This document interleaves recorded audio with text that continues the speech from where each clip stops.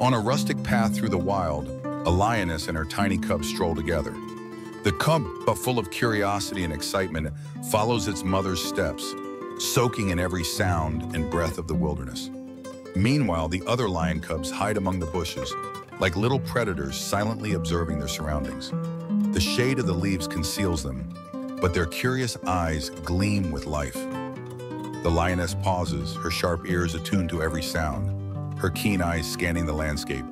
It's the careful instinct of a mother protecting her young. But before the lioness can signal, the little cub cannot hold back its excitement. A small yet energetic call escapes its lips, summoning its siblings.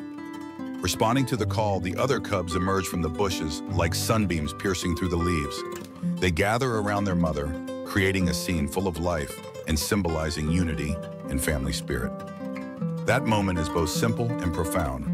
In the wild, family bonds remain the greatest source of strength.